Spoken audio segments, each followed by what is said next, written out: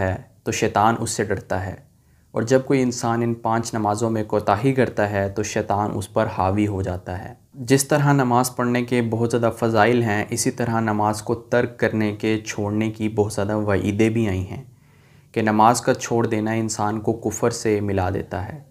जब इंसान नमाज़ को छोड़ना शुरू कर देता है तो वो बज़ाहिर तो मुसलमान ही रहता है, लेकिन उसके आमाल काफिरों वाले बनना शुरू हो जाते हैं, उसकी ज़िंदगी में कुफर नफाक आना शुरू हो जाता है।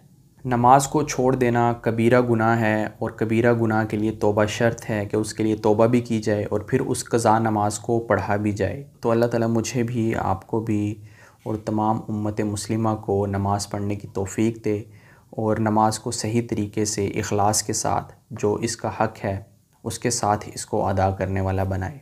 तो आपसे अगली वीडियो में मुलाकात होगी। तब तक के लिए अल्लाह हाफिज़ और अपना ख्याल रखिएगा।